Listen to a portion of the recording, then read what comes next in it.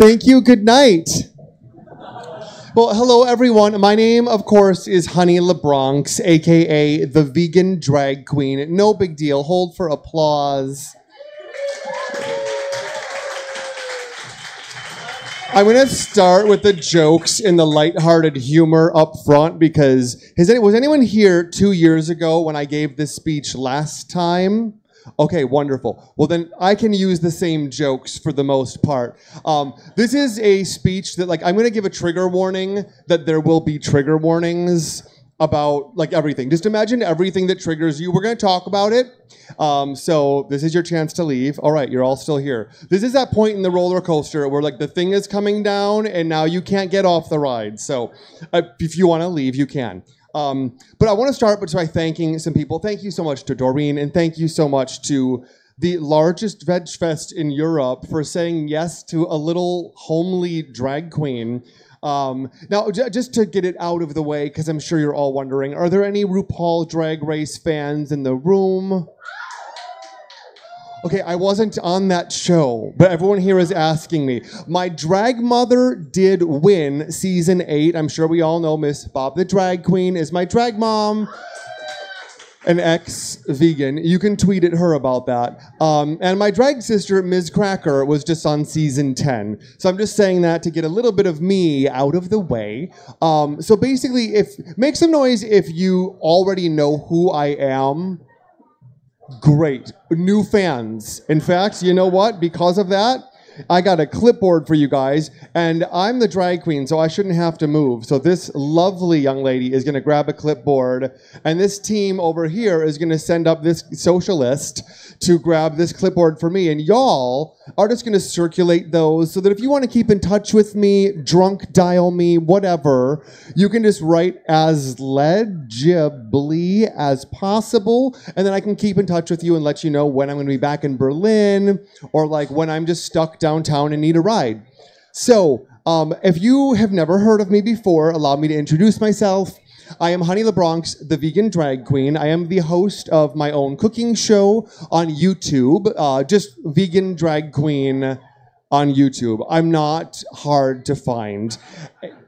People are like, "What vegan dry cleaner?" Yeah, because that you know that I had to follow my dream. I'm the vegan dry cleaner. Although that would not be a bad idea now with the wardrobe I have. So you can also, if you like the sound of my voice as much as I love the sound of my own voice, you can take me home with you in podcast form. My podcast is Big Fat Vegan Radio. Again, you don't need to write that down. You're not going to forget it. Um, and just one last thing to get out of the way before we jump into this speech. You all might as well take out your telephones right now. Take them out, hold them up in the air, take your telephones out and you are going to open Instagram. Now, if you're over the age of like 65, that's an app which is short for application. You, you know what? Don't even worry about it. So we're going to open Instagram and you're going to hit search and you are going to type in Honey LaBronx. That's H O N E Y L A B R O N X. And you are going to follow me on Instagram, and that way we can be friends forever. You should know I'm very vegan, very political, and very angry about a lot of things in the world. So just know that before you check my Instagram. So um, here we go. Shall we jump into the speech? All right, well, you know, I've learned the hard way not to ask the audience what they want. I did that once. I was hosting the National Animal Rights Day in New York City. All I had to do was say, Thank you, you've been lovely, good night. But I chose to say, Who wants another number? One woman in the front row just said, I'm good. And you can't just be, well, all right, well, you know where to find me. You have to be like, all right, you got it, hit it. Um, and it was terrible. So anyway, so that's how that's who I am, and that's a little bit about me. Um, I would like to just acknowledge that um, we are going to talk about a lot of social justice issues. So there's no trigger warnings to give because we're talking about them all. So basically, um, it's really exciting for me to be in Berlin just because I am so thrilled to get out from under the thumb of my current presidential administration. I'm so happy to be here in Berlin, which is like one of the veganist places in the world at the largest veg fest in Europe. um, into a place that is so forward thinking and so socially progressive. And yet, at the same time, there's still a lot here to fight for. I mean, let's be real. I mean, there's an actual Nazi party still having some political power, and they're running for this nationalist platform. Like, history is just repeating itself all over again, and here we are in 2018. Like, we are still fighting this again, like a hundred years later. So, the world as we inherited it is far from perfect. Y'all are right on time. Thank you. Okay, when I do that, you're going to clap for no reason just to buy me time to hydrate. So, um, and I'm not cheating on you. With, I'm not like looking at my homework. I've got a script here because I changed this guy so much that it's, it's, it's I don't bother memorizing it. So basically, like everywhere else in the world, there's still an ongoing struggle for social justice in many areas.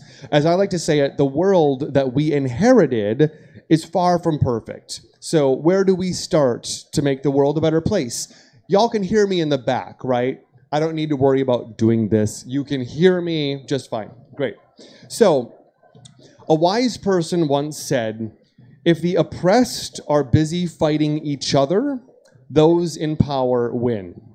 In the 1960s in the United States, the civil rights movement was fighting for the rights of black people in America. They were faced with discrimination in voting, housing, and segregation laws. At the same time, women were fighting against discrimination in jobs, legal representation, and sexism in the media. And yet, the victories won by both black people and women were not benefiting everyone equally within those communities. For example, companies who started hiring black employees, they started hiring black men, but not black women. Whereas other companies that started hiring female employees, they were hiring white women, not black women. So here, black women are fighting for women, fighting for black people, and they're like, how are we still left out of that?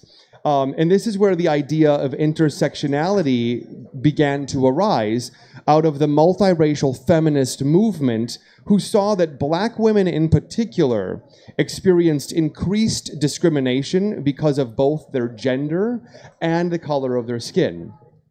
This theory was largely pioneered um, by Kimberly Crenshaw, a professor at UCLA, who said that the experience of being a black woman cannot be understood in terms of the sum of its parts. You don't just add woman to black and that equals what it's like to be a black woman.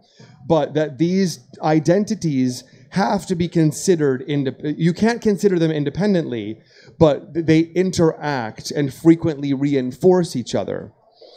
Then, in the 1990s, as the theory began to gain prominence through the work of sociologist Patricia Hill Collins, she pointed out how cultural patterns of oppression are not only interrelated, but they're actually bound together and influenced by the intersectional systems of society, such as race, gender, class, and ethnicity. Collins refers to this as interlocking oppression. And today, this concept is expanding to include issues of ability, species, and sexual orientation. And it can be defined as the interconnected nature of social categorizations as they apply to a given individual or group, regarded as creating overlapping and interdependent systems of discrimination or disadvantage. And through an awareness of intersectionality, we can better acknowledge and ground the differences between us. Now, you're probably at this point wondering, am I at the right festival? This is like the animal rights thing, right? We are talking about black women in the 1960s in America. There is a reason for all of this. We're doing some social justice history, and that's going to catch us up to where we stand today as an animal rights movement. So, to understand oppression, we first need to understand privilege. What is it? How does it work? So, now I'm going to go into a little bit more social justice history.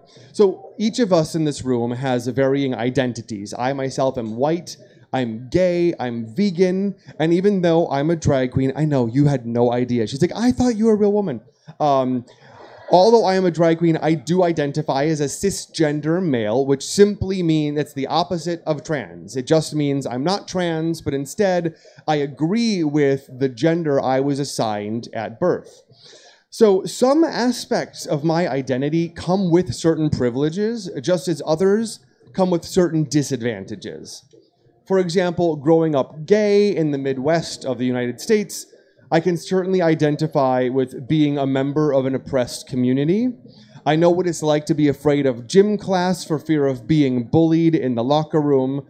I know the sting of not being able to take my boyfriend to the school dance. But don't worry, I had one of my friends, she brought him as her date, and then I brought her girlfriend as my date, and then like we all just connected inside the dance. Um, one of my uh, to, to, grow i know what it's like to grow up not seeing people like me represented in the media. And to grow up never seeing gay couples or same-sex affection shown on television in a positive way. I got the picture loud and clear that as a kid whatever i was i'm not normal. And if i want to have a good life i have to try as hard as i can to hide who i really am even when I had a boyfriend, I was 14, and uh, I remember being afraid to hold his hand or give him a kiss in public because, duh.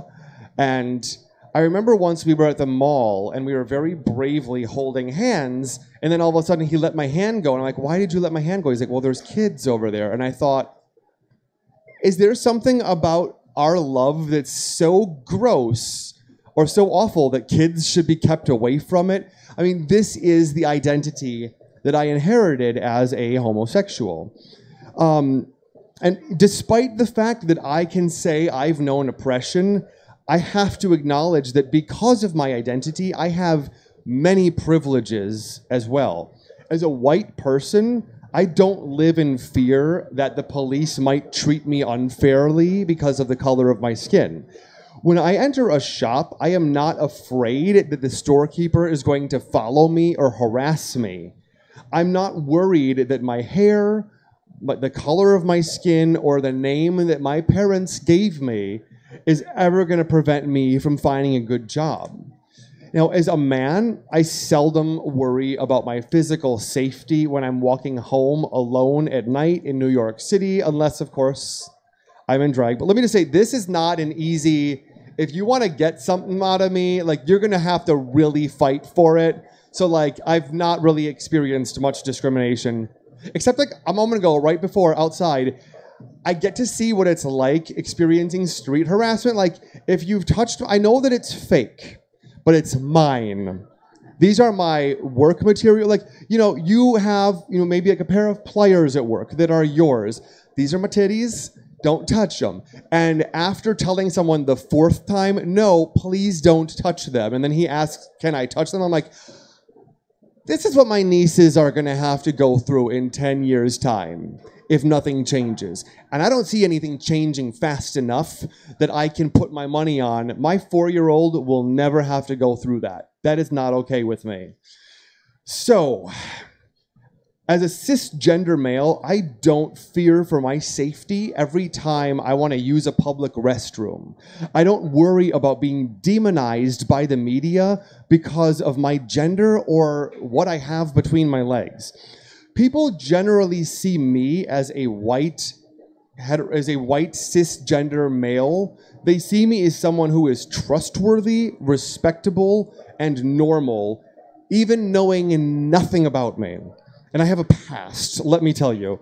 Uh, so many people who hear about white privilege or male privilege, they often react harshly, saying, "Well, it's not my fault that I have these privileges," or some, or like I didn't ask for it to be this way. Or some will even flat out deny the existence of privilege because they'll say, "Well, I grew up poor. I had to fight. I lived. I'm white, but I lived in a mostly black community, and I was the outcast." No one is saying that that's not also a thing. That's not possible. Um, you know, there are many poor white people. I'm one of them. Hi. There's many men performing hard manual labor and earning low wages. Um, and there and cisgender women still face, face plenty of, of discrimination and oppression. Um, you know, like earning less money than men or not being taken seriously when they need to report that they've been, you know, assaulted to the police.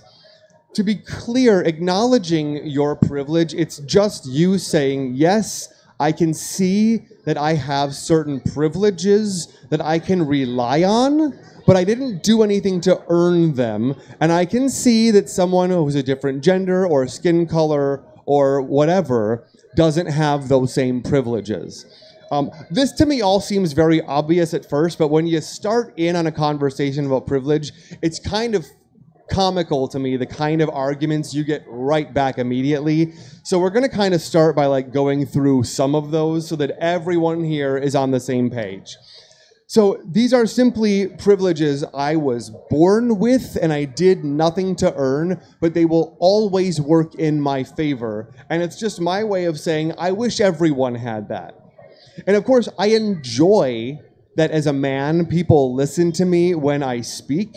I enjoy that I don't live in fear of police brutality as a white person, and that I can use a public restroom without fear. Honestly, I don't know what it's like being transgender. I do know as a drag queen, I can use whatever. I could use the bathroom right here. No one is going to stop me. A drag queen can get away with pretty much anything. So there are certain privileges that I just love that no one's going to come up and tell me, ma'am, ma'am, you know, no one's going to say that. So, acknowledging my privileges, it's just me saying everyone should have that. If we truly had a level playing field, everyone would be able to nod and be like, I have that. Yeah, absolutely. That's what it's like for me. So, the good news about privilege, though, is that we can actually use our privilege for the greater good to make the world a better place. If you're white, you can use your privilege to speak out for people of color because I am generally listened to by other white people, I can make a real difference by calling out other white people when they use language that perpetuates the oppression of people of color. If you're male, you can use your privilege to speak out for women. You can speak out against the ongoing epidemic of street harassment. And next time one of your guy friends disrespects a woman in public, you can tell him, hey, knock it off. Imagine how scary that would be for you if you were in her shoes right now. Um, and if you are human, you can use your voice to speak out for the animals. And honestly, if you're a drag queen, I don't think I see any here. No, I don't think. Uh, you can use the attention that drag gets to speak out for the animals and make a difference. You can literally use whatever talents and advantages that you have to help amplify the voices of marginalized people. So, first, when I was preparing to give this speech, I got a book that a friend told me. She's a big global speaker on animal issues, and she's like, You should get this book. It's literally called How to Give a Speech. And thank you, thank you. Applaud for me while I drink so that. Oh, you're too kind. Um, when I was preparing to give this speech, I read a book on how to give a speech. And it was so disinteresting to me because it started off by saying, well, you need to get to know your audience. So are they mostly going to be men or women? Um, is there anything culturally or historically relevant about the place where you're giving this speech or the day in history that you're giving this speech? Will your audience be waiting for your speech to end because they're going to dinner after this? Or will they have just had lunch and they need a nap? Like, really, you need to know these things. And I was like, I don't care if I'm talking to men or women. I don't care how old they are. I don't care if they're hungry or waiting for me. I'm just going to talk to them about social justice and I just want them to listen. I just wanted this book to tell me here is the right thing to say and here is the right way to say it. Go get them. By the way, you look amazing. And a while ago, I was talking with a new friend who isn't vegan. He didn't really seem interested in becoming vegan, but he asked me why I'm vegan. Well, I went on for about 20 minutes, and it was the best summary I've ever given of why I'm vegan, why it helps the environment, why it's better for the economy, why it's better for my health, and so on. I made such a compelling argument for veganism that I thought, there's no way he's getting out of here without being vegan. And at the end of my speech, he said, Yeah, well, that's good for you. And I was so upset because I'm like, I said all the right things. I said the right words. How can he not care? And then it hit me. You know, I was reading this book that was telling me I should know something about the people I'm talking to. And I realized I have no idea what this guy is dealing with, where he's coming from. And the more we talked, I found out that he's ex military. His family kicked him out when they found out he's gay, and they told him that they hope he dies of AIDS. This is someone who's really dealing with things in his day to day life. Nowhere in my little impromptu speech did I include anything about what he's dealing with, or did I show him that I even care about him? I just had an agenda. I was the smart one. He's there to listen, and that was that. So, I mean, there's obviously a lot of reasons to go vegan, right? I mean, a lot of people are vegan for the environment, for their own health, but I think we can all agree is there one most important reason to go vegan? I, I have one that I think is most important. Perhaps you do. Say it with me. The most important reason to go vegan is to piss people off. No, sometimes that's enough on days where I'm just like, oh, it's just all too much for me, I'm like, if I show up and I ask if they have any non dairy milk, someone's gonna have a bad day. And that, that is enough for me on some days. Anyway, the point of talking to this guy was that everyone out there knows something you don't. Everyone out there is dealing with something you ha- you know nothing about. So get curious. Give yourself permission to actually walk around this world with a sense of wonder like, who is this person with the updo looking perfect? Like, what did she have to go through to get here? Like, what has her journey been like being vegan? Has it all been easy? Probably not. If I gave her 20 minutes and I said, Tell me five things about your life that would fascinate me, I would walk away thinking, This is the most amazing person in the world. And everyone's got that, but we walk around so, not even disconnected, just so disinterested. We're more interested in what it is we have to say to them. So, the only way I feel to make a difference for someone is to first of all find out what they care about, what they're dealing with, and what really matters to them. If I want to talk to people about why they should go vegan, I also need to understand that they're dealing with things that I don't have to deal with. Now, to be clear, animal liberation is the number one issue that is closest to my heart. But you know what? It is not the only thing I care about. It's not the only social or political or artistic endeavor that matters to me. It's probably the most important to me because I am literally fighting, we are literally fighting for the lives of 150 billion land animals alone who are killed every year according to the Food and Agriculture Organization of the United Nations.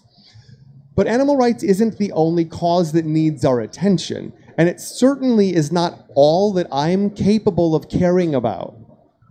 Now, if we aren't checking in with other social justice movements and with other individuals who experience oppression, then we really do give the appearance of being selfish and one sided.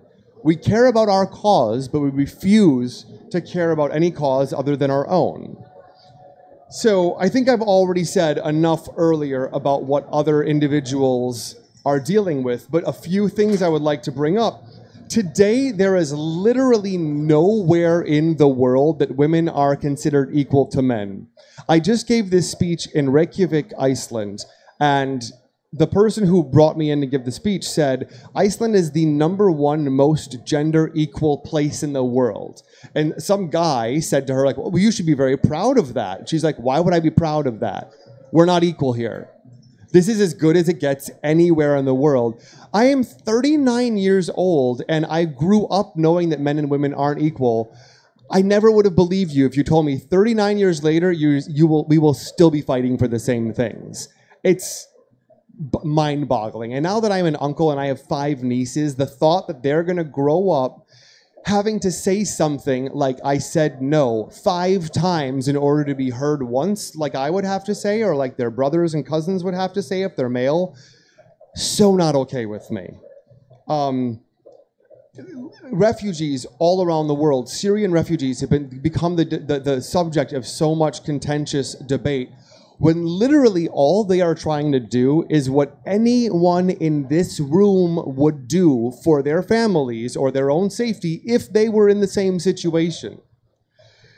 And, and I'm surprised to find out that so many people don't know about this. I don't know how it is in this country, but in the United States, people are completely unaware that for two, maybe even three years now, maybe two, there's still an ongoing gay holocaust happening in Chechnya. Gay and bisexual men are being rounded up, tortured, detained, even killed by the government. Recently, a 20 year old man who managed to escape to St. Petersburg, Florida, he was out one day taking the trash out in the backyard of this safe house when a van pulls up two masked men jump out of the car and kidnap him, and they were going to take him to kill him. One of those men was his father.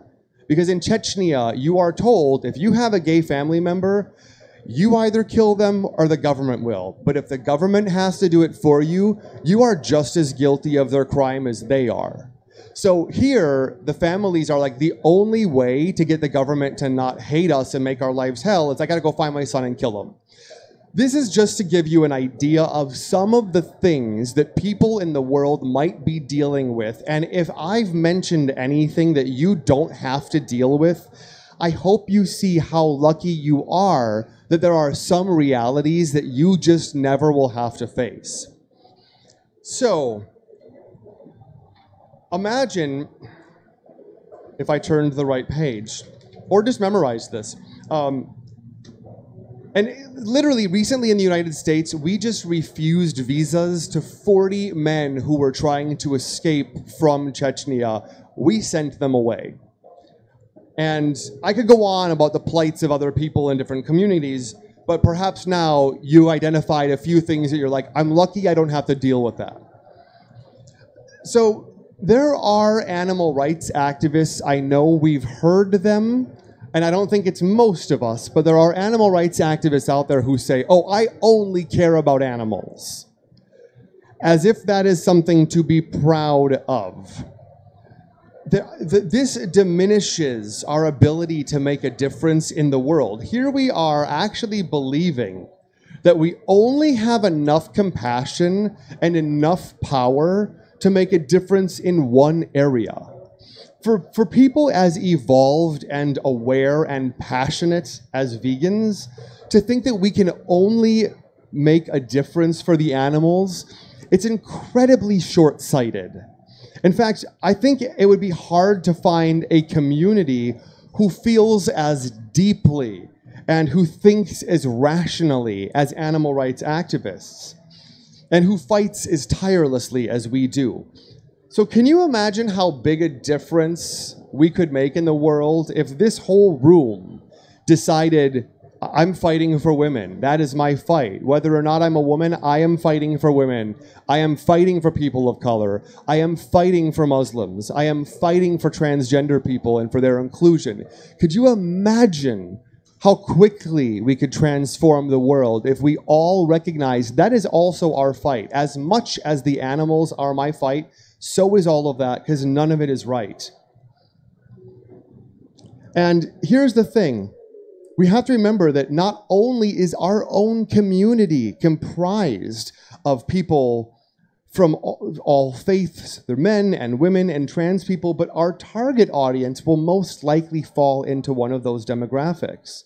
And no matter how brilliantly you speak, no matter how great your talking points are or how convincing your argument, these people will be thinking in the back of their minds, well, what about me?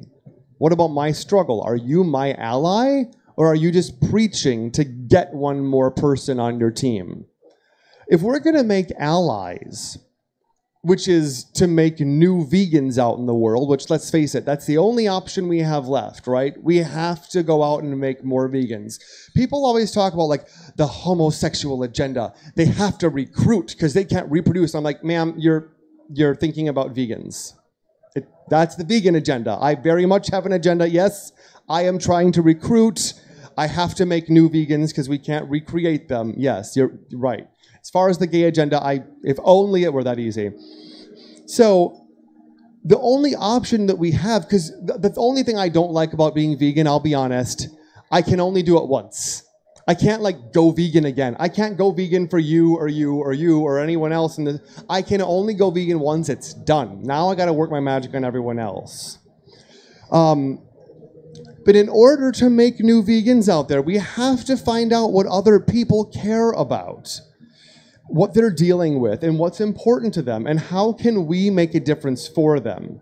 Because when they ask you well what about police brutality? Or what about trump threatening to ban all muslims from the united states? And you can't genuinely show that you share their concerns and you know enough about the issue then what gets revealed in that moment are all the things you don't have to worry about in addition to fighting for animals these people don't have the luxury of getting to say, I only care about animals. Now, here's the good news. I know I'm going to live long enough to see animal liberation in my lifetime, but we're only going to get there as one. This whole idea that, well, first we're going to fight for people of color, then the gays, then women, if we have time, then transgender rights. This kind of hierarchy of social persecution will always put animals last. We are outranked in that opinion. And until people can connect the dots and start to see all oppression and all suffering as equal, animal suffering will always be their last priority in the fight for social justice we also cannot defeat speciesism while contributing to other systems of oppression.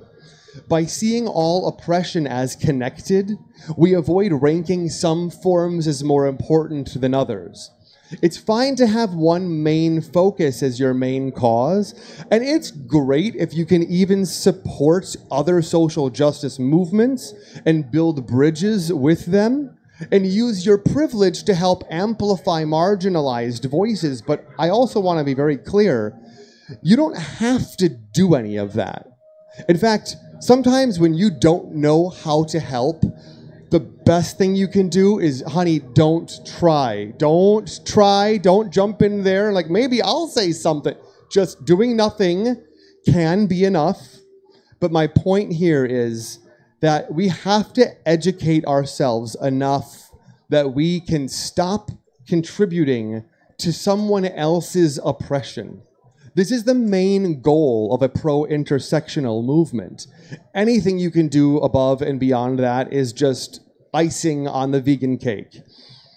Of all the theories, by the way, about pro intersectional uh, social justice, like 90, this is not a real fact, this is an alternative fact but like about 99% of them do not include the animal animal rights in their vision. As an animal rights movement, we cannot succeed without involving communities outside of our own. So, when I first heard the idea of intersectionality, I thought, perfect, I can use this as an argument when I'm talking to people who are gay or talking to women or people of color, I can use this as my gotcha opportunity and tell them, well, you're basically a hypocrite unless you're vegan because blah, blah, blah. Now, I can laugh at how naive that was and how short sighted I was, however noble my intentions were. Um, but I can see now how my privilege made it possible for me to ignore their identities and to tell them what they should be fighting for. Here's what I know now. As a cisgender male, I recognize that I just don't get to tell black people what to do. I just don't. I don't get to tell women how they should feel about not having equal rights. I don't get to pretend that I understand everyone in the LGBTQIA plus community. I don't. And I definitely don't get to tell people who are fighting things that I'll never have to fight what they should care about. Here's where I want to say something that's not on not in my notes here, but let's be honest for a second. If you really believe everyone should be vegan, raise your hand. Okay, so everyone should be vegan no matter what. Okay, great. That's a lot of us, right? I certainly have felt that way. It, how, how could I argue that not everyone should be vegan? I'm going to make two exceptions to that. I'm a person in recovery, 10 years sober from drugs and alcohol. Do not thank me, do not applaud. That you are welcome. I am I am not a threat to y'all anymore. But um but I do need a sip of water so you can go ahead and clap. Oh my god. You guys stop that right now. Here's the thing. If you know anyone who's in recovery, there is a correlation between alcohol consumption and blood sugar. So a recovering alcoholic who is giving up alcohol, their body is trying to regulate their blood sugar. And alcohol is a very easy way to get blood sugar. So, like several times a day, their body is like, do the thing that spikes our blood sugar, whatever that is. And so they will have intense cravings for alcohol. This is why alcoholics are told in your first year of recovery, no major changes. Now, I went vegan. I started reading about veganism and vegetarianism before my first year, but I decided not to make that change until I had a year sober. And here's the thing I had a friend who was so inspired. She's like, Oh my God, you're vegan. I want to go vegan too. I'm like, Okay, you have four months sober. This is not your first time trying to get sober. You don't get to go vegan, said the vegan drag queen to someone who wanted to go vegan. I'm like, Listen, if you ever get to one year sober. If you make it and you don't die, then you can go vegan. And listen, and she's like, well, why? Why should it matter? I'm like, here's why it matters. At three in the morning, where do you live? She's like, I live uh, Washington Heights, the top of Manhattan. There's nothing up there. It's not a vegan oasis, I'll say it that way. I'm like, great. So in your neighborhood at three in the morning, if you get a intense craving for alcohol, do you know where to go in your neighborhood to buy a pint of vegan ice cream? And she's like, wow, no. I, am like, this is why you don't get to go vegan yet. Now, here's the thing. I had a friend who had 10 months sober, and he's like, I'm going vegan. I'm like, don't, you don't stop that. Listen, I'm not saying eat animals. You can just order vegan food as often. If you want to order a vegan meal for all three meals every day, be my guest do not decide I went vegan or I'm going to go vegan. Don't decide you've committed to something in your mind because you don't know what's coming. As someone who just celebrated 10 years sober, they always say when you come up on a major anniversary, you start to get a little crazy. I literally started having panic attacks like two weeks before my 10 year anniversary, and I had to go and see. I mean, like, it is not something you want to mess with. So that is one example. Can we all like see like okay, I get that. I can see that. That that possible vegan is worth more to the animals alive and fighting for animals than dead in a ditch somewhere. I also have a friend, and I'll make this short. I have a friend, Jason and Jason, the Jasons. I've known Big Jason for 20 years. He married Little Jason 15 years ago. Big Jason dealt with anxiety I never knew. He took his life in November. I didn't realize that things were that bad for him. It was so debilitating, his depression, that like literally he could not get off the couch. When he went to a grocery store and had to choose a box of cereal, he would just like go comatose and couldn't move or talk. And he needed to be hospitalized. His life was so miserable at the end. He saw no way out but to take his life. Here I am in Ithaca, New York, visiting little Jason I'm in their home for the first time in the 15 years they've had it, feeling like I'm a real jerk as a friend that I never saw it while he was alive. And Jason, who finally learned to cook, you know, so he could take care of his husband, his order arrives. We have it blue apron, we call it. You get ingredients shipped to you in, menu, in menus and blah, blah, blah. And he's unpacking. He's like, oh, yeah. So he's unpacking his chicken and his shrimp. And he's like, oh my God, I'm so sorry. I'm like, do not apologize to me. Listen, if all that you can manage to do with the rest of your life is pick up the pieces and keep, and keep moving on, and you manage to find some small degree of joy, that is enough. If you never go vegan, listen, I'll just go and make everyone else vegan around you. By the way, this guy is totally gonna go vegan because who apologizes for having animal products in their home that's not thinking about it on some level? But now perhaps you can see what I mean when I no longer take the view that everyone should fill in the blank, do anything, right? I mean, everyone should follow me on Instagram and sign up for my mailing list, which is working its way through the audience. But aside from that, I don't know your struggle.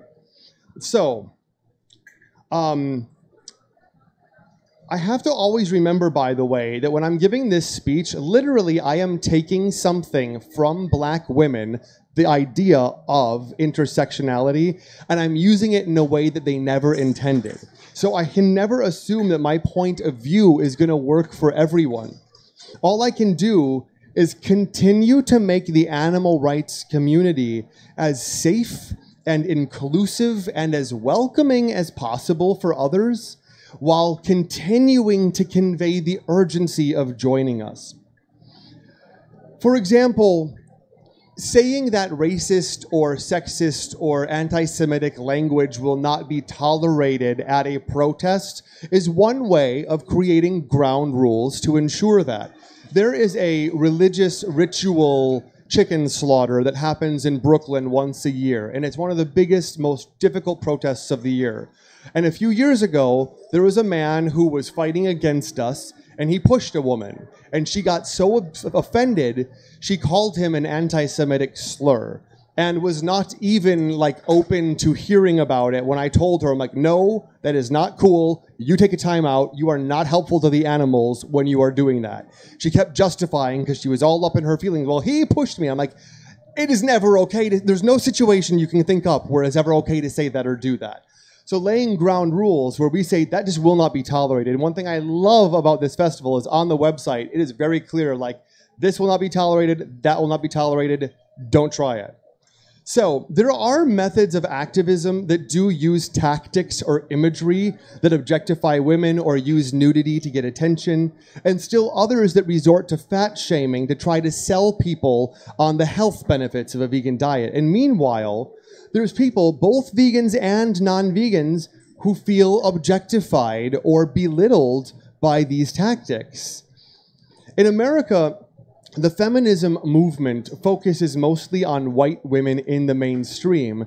And so there's a lot of debate in the, in the feminism movement about feminism versus white feminism. All of this keeps people fighting each other instead of uniting to fight together for our common goal. Intersectionality gives us a set of tools that we can use to craft our message in a way that maximizes our effectiveness without alienating others or supporting the systems or language that oppresses them. When you say that you only care about animals, what you're really saying is, well, I care about rape and murder and torture unless the victim is my sister or unless she's human as if these two things aren't both possible at the same time. Here's the thing you can't have compassion for this guy over here and then not have compassion for this guy over here because that's not compassion. That is favoritism. Now, if I really want to put this to the test, I have to ask myself if I have compassion for the animals, how can I have compassion for Donald Trump and the people who voted for him, like my parents. I don't like thinking about that. That kind of makes me want to take that part out of my speech. But the truth is, how am I losing or giving up anything by asking myself, how can I be compassionate towards this person? A friend of mine once said on Facebook that she thinks it's great that I'm vegan, but she'd rather spend her time and energy making the world a better place for people. Like as if those two things are mutually exclusive. So, what is it that makes it easier for us to be kind to animals than to care about our fellow humans? Even non vegans can become outraged when they see images of animal cruelty. It's as if we don't feel we can hold that much compassion in our hearts. Now, it's not uncommon for our first reaction when confronted by a form of suffering or oppression that we aren't familiar with. It's not uncommon for our first gut reaction to be like, "Oh no, that's too much for me to handle. I can't I can't understand all of that issue. I can't care about everything I care about and take that on. Someone else is going to have to make that their cause, right?" And what we do in those moments is we take our heart away from the issue we love less and we pull our hearts from that. I like to say compassion is like a muscle. The more that we use it, the bigger it gets, the more that we examine our compassion and exercise our compassion. The more we flex the muscle of compassion and ask ourselves, how can I have compassion for Trump voters? The stronger and bigger our hearts get. And I know I'm saying hearts, and that sounds kind of cliche, but if anyone ever here has ever been like heartbroken, let's say by a young kid from Amsterdam who left the country and unfriended you, um, it actually hurts like in your heart. So there is some correlation to like exercising this thing here.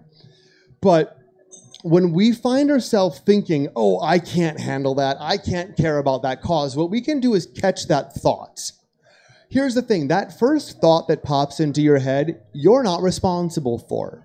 Here, some of you are thinking, I'm a bad person. If you knew the thoughts that go through my head, I don't care about the thoughts that come into your head. Not the first one.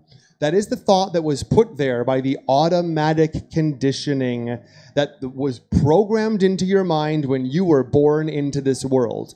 That first thought is not your responsibility. Your responsibility is the second thought that comes after that. When I hear myself saying, oh, there's a new thing I'm supposed to care about, I can't. Darfur or what's going on right now in Malaysia, I can't, I can't, it's too much. I can catch that thought and I can remind myself, oh, I'm doing it again. I need to actually bring my heart forward. So you're not, when we hear this thought, and we think our heart isn't big enough, what we can take on is I'm going to try loving harder than I ever have tried before. By a show of hands, by the way, raise your hand if, if you have ever just wished that non vegans would just be open to criticism. Anyone, I can't be alone in that. Keep your hands up if you've ever thought, God, I wish that meat eaters could just listen with an open mind and just consider what I'm saying. Just consider it from the animal's point of view. Just consider it. I'm not saying you have to sacrifice anything or go vegan today or make any changes. But God, just let me contribute to you a point of view that you don't already have so you can see what that might make available to you when you just try that question on for yourself. So, again, show of hands, who's felt that way at least once in their life? Okay, most of us, right? Now, raise your hand if you're not vegan. Any non vegans here? Hey, no one's perfect. No one's perfect. Hey, I've done some awful things too. And I want you to know, vegans, I speak for all the vegans in the room when I say vegans don't judge. No, no, guys, none of us are judging you. We're just loving you really, really aggressively. I love you so much. Um, but seriously, now raise your hand if you're vegan. Okay, keep your hand up. Keep your hand up if someone's ever accused you of caring more about animals than you care about people. My hand's staying up. I know I've heard it. Okay. Well, now, seriously, here's the thing don't you think they wish that we would at least consider that question? Don't they wish that we could at least try on their suggestion? Maybe let in their criticism? I mean, if I believe in what I believe in, anyone should be able to say anything at any time to my face about my beliefs or my values, and I should be able to be with their communication. But here's the thing I, I, don't have to make that person wrong or tell them that the way they see it is not the way it is. But if I want people to consider my point of view, maybe we can be the example of how to do that. So if we think be the change you want to see in the world, well, then the next time someone says you care more about animals than you care about people, we can consider one, is that true? Two, why is that person saying this? And three, what might I be doing or what might the animal rights community be doing that might give that impression? So, to simply tell them they're wrong and to invalidate their point of view is not going to move us or them. And spoiler alert, that's a tongue twister. Spoiler alert, there is no such thing as an invalid point of view. It's a point of view. There is literally there's no possible invalid point of view. It's a point of view. So if we try to invalidate their point of view, they're just going to walk away from that encounter even more certain that they're right and we're wrong. And when anyone mentions veganism, I'm like, oh, I met a vegan once. It didn't go well. So, but at the end of the day, we both want the same thing. We both want peace on the planet in our lifetime. And we want a world that works for everyone. So, in what ways might we be giving the impression that we care more about animals and we care more about humans? Well, when I scroll through my friend's Facebook activity, I often see no comment on black people being killed by police in America. I just see post after post after post about animal issues. And yes, I can imagine how that might look to someone who is just looking for a reason to say why you can't care about animals and people. What I can do instead as a pro intersectional animal rights activist is to realize when it's time to speak out for the animals and when other concerns deserve my attention. For example, I post a lot of stuff on Facebook about animals, but the day after the Las Vegas shooting, probably not the best day to post like undercover footage of a slaughterhouse. The day after two white police officers, each with a history of using excessive force, both went free after fatally shooting Alton B. Sterling, an innocent man who committed no crime. That might not be the best day to post a long rant about why people need to stop eating animals. I used to think, by the way, that I can't be sexist. Like magic. I, I, I'm gay. I can't be sexist. But then one day I asked myself, what if I'm sexist and I don't know it? And in the days and the weeks that followed, I discovered many opportunities to uncover and address my own sexist thoughts and behaviors. And that made it possible for me to become a feminist ally. Literally, the, after I asked that question, I saw a woman being interrupted by men, and I noticed that the men weren't doing that to each other, only her. And after she was interrupted twice, she never tried again to speak up. And I'm like, I went home to my mom and sister. I'm like, guess what I saw? And I was describing it. And they're like, uh huh, sounds like a Tuesday. And then in that conversation, they're like, fun fact, you're doing the same thing right now to us in this conversation. So, pro intersectionality gives us a framework inside of which we can all live in the solution to oppression and social injustice. This movement consists of leaders, people who are primed and ready to consider what it's like for someone else who experiences oppression in a way similar or different to how others experience it for themselves. And these are exactly the people who we need to reach out to and invite them to consider what it's like for the animals. Not just as another thing they have to, to sign up for, but to really get that, oh my God, I can grant somebody their freedom from suffering and torture and murder simply by ordering my food a little differently. How wonderful that they need not do anything else but order their food or their entertainment or their clothing differently.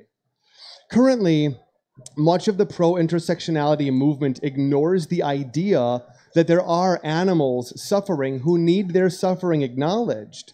But because the intersectionality movement is already in this inquiry, because they're already asking themselves these inconvenient and difficult questions and challenging their own views regularly, pro intersectionality is not only an idea for vegans to take on for the purpose of being more effective, but the intersectionality movement itself, as I see it, is our greatest ally to date. we're not only asking them to consider what it's like for the animals, but to also consider the intersections within the animal agriculture system and how it equally oppresses animals, females, undocumented immigrants, people of color, human rights. If we want to build the animal rights movement, we would do best to build bridges with people who are already fighting for other social justice issues. Now, in closing, I want to say it's okay to make mistakes. You are all going to leave here and make mistakes. It's good it's going to happen. Even after giving this speech, I am going to make mistakes. I might look back at this speech in a year or month and be like, yeah, I can't believe I said that, or I can't believe I left that thing out. And someone might come up to me and say that I said something I shouldn't have, or used language that was sexist or racist, etc. And when that happens, what I get to do is thank them for contributing something to me. And I get to ask them what I can do to be a better ally for other marginalized communities. And that's how I get to continue to grow in wisdom and compassion. Because this is not about perfection, this is about progress. And so long as we can strive to be a little better every day, I know that in our lifetimes, we will dismantle racism, classism, sexism, ableism, speciesism, homophobia, transphobia, and we will have a world that works for everybody. Thank you.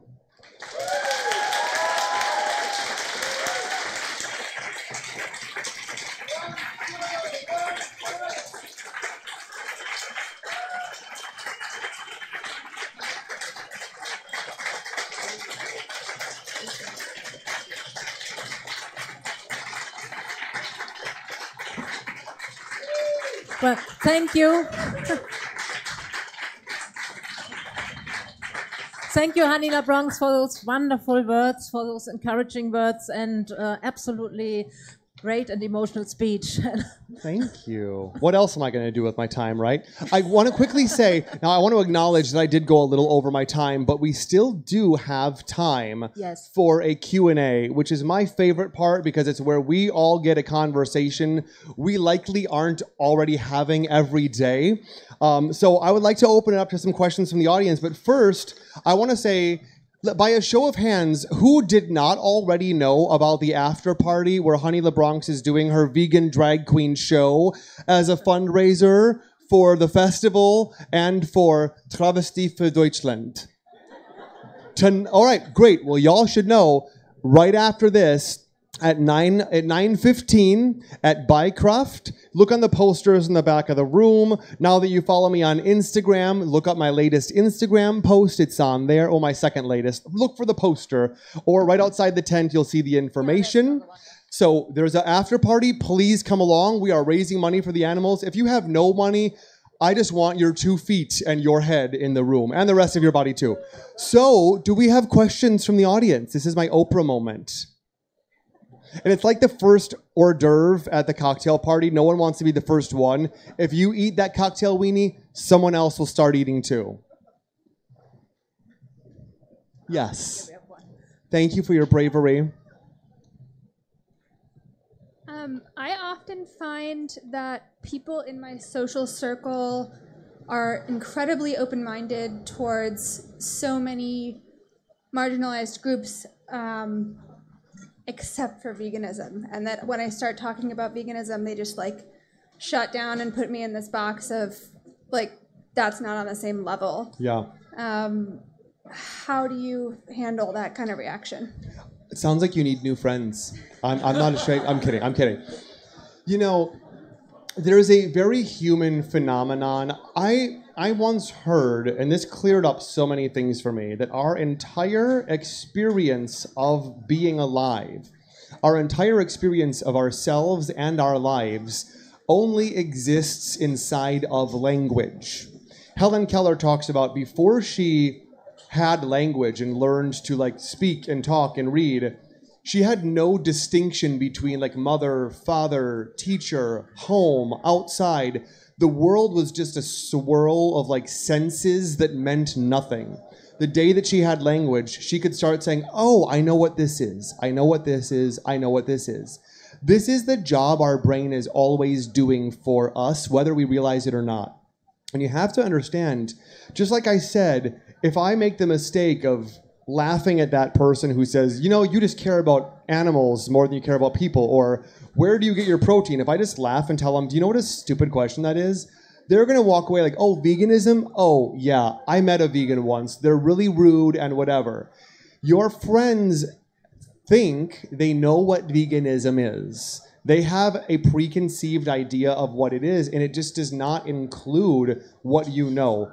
This might seem naive, but I don't think anyone could know what those of us in this room know and not be vegan or at least be doing everything we can to work towards it. I always like to say, and I hate this, everyone is on their damn journey. Everyone, look, my journey turned into this. I went vegan and I became a damn drag queen with a cooking show. This does not have to be what happens to your friends, okay? I mean, honestly, don't come for my gigs. It's better if it doesn't work out that way for them. But everyone's on their journey, and I always find that no one argues veganism with a vegan unless on some level they're looking for information. I have a friend, Vito. He never talks to me about veganism, never asks me, never argues it with me. He has zero interest in going veganism. But all the friends that want to get into a fight with me about it or they want to argue certain points, I believe that there's a reason that they're asking, and that's part of their journey. And I would love if you could have them be vegan tomorrow. That just might not be what their journey looks like.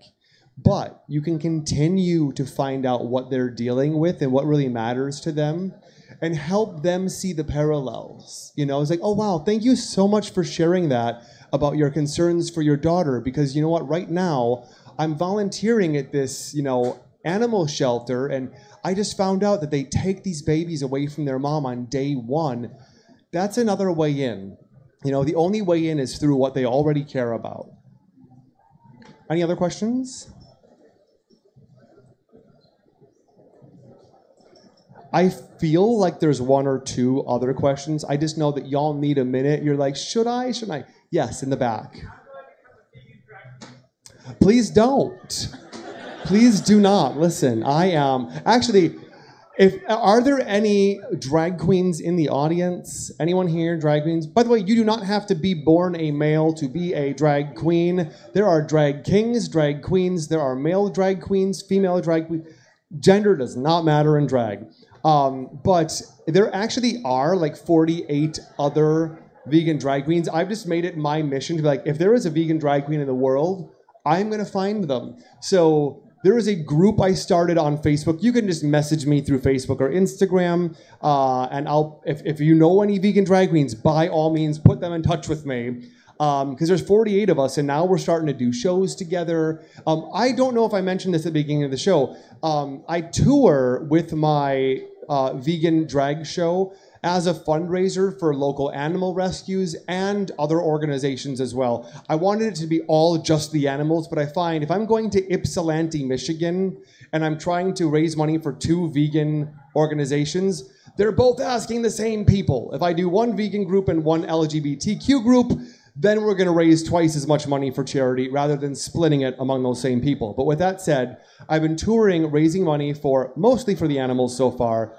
Tonight will be my 44th show this year. Three of them were last year, but my 44th show. And I have so far raised $21,433 for the animals. That's like that's like a few hundred um, euro. That's like hundreds of euro. Um, and uh, but it's my life's work. You know, I'm also a professional theatrical photographer, and there's a lot of other day jobs and stuff I had. But I decided I'm like I'm done with the survival jobs. Like a friend of mine told me, no more day jobs, only yay jobs. So only if the job makes me go yay. So I decided at the beginning of this year, new year, new me. You know, if Mariah can't start the year off on a good note, I will. And so that's literally all I'm doing anymore. So, and I only perform with a guest on stage with me if there's a vegan drag queen in that city. And I'm very happy to say my limit was I had five vegan drag queen guest performers in LA. There was six of us.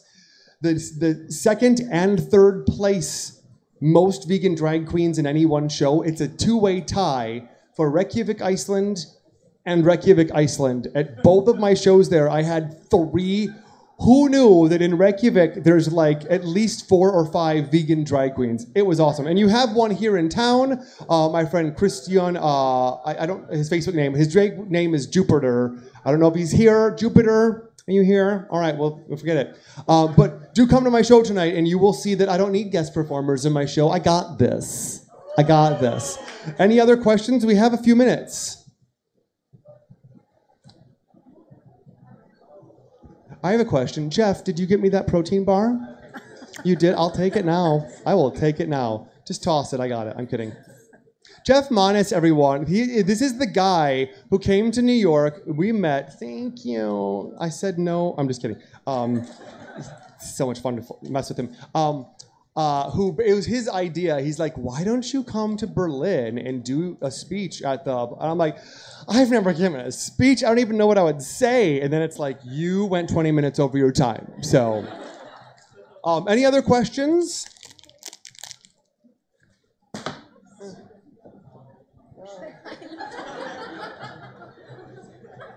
Thank you. All right. Well, if there are no other questions, I'll just say once more you can find me on Instagram. Um, in fact, I'm just going to take this opportunity to look and see who followed me on Instagram. And anyone who followed me on Instagram, you're to get a free little something from me.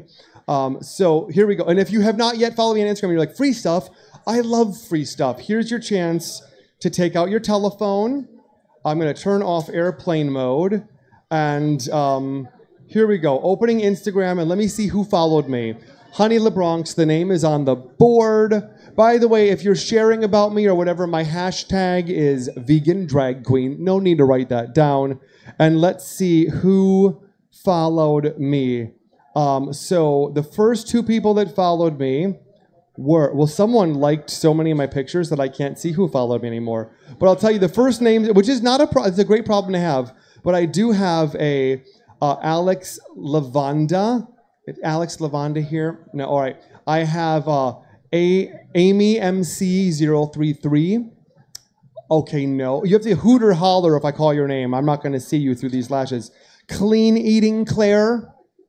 Clean eating Claire, not here. Okay, well, you know what? Um, and Felina Knox, which sounds like a great drag name or a facial cleanser. Well, then never mind. So it sounds like no one followed me. But if you would like to, um, Honey LaBronx on the Instagram. I'm really effing funny on Instagram. I post some good stuff, so it's in your best interest to follow me. And did that buy anyone enough time to think of one last question? No. All right. Well, thank you so much for having me. I love you guys. I love Berlin. I'm so happy to be here again. I hope I'm gonna show of hands who's coming to the after party. All right, you can say you saw Bob the drag queen's drag daughter on stage, step touching. Um, so I'll see you at the after party. For those of you who aren't coming to the after party, come to the after party, and um, I'll see you guys there. Thank you so much. Thank you.